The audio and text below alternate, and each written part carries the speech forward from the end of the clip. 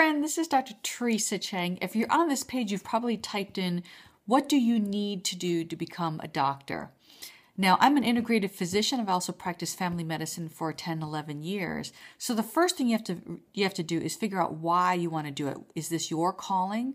Or is it something that other people want you to do? Maybe society, family, tradition, because it's a long journey and you want to know the why. Second thing I always tell people to do is shadow a doctor because you want to actually get a glimpse of what their day is like. And many, many people would be happy to do it. Just tell them you'd like to follow in their footsteps, ask them what they like, and perhaps what they don't like, because that's also really, really important. The third thing is actually, yes, you need to be interested in the sciences, but you also want to uh, be well rounded, you know, also be interested in things like history or art or dance or you know music. And also service is a big deal. Service like volunteering is also really really important.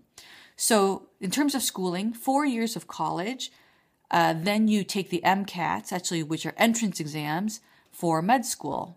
Four years of med school. When you graduate med school you have an md or do degree and then you have to enter training. So, for at least three to five years, depending on the specialty. So, training is about 11 years in total, and uh, training and schooling. And yes, you actually do incur quite a bit of debt.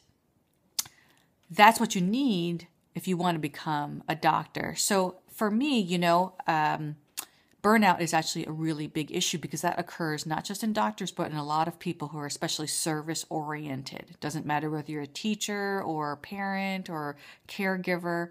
And oftentimes, when you ask people what they want more of, it's time freedom, financial freedom, and I'd like that too. And if you're at all interested in that, you know, what I would do is click the link below, get onto an email list, contact me. I'd love to connect with you.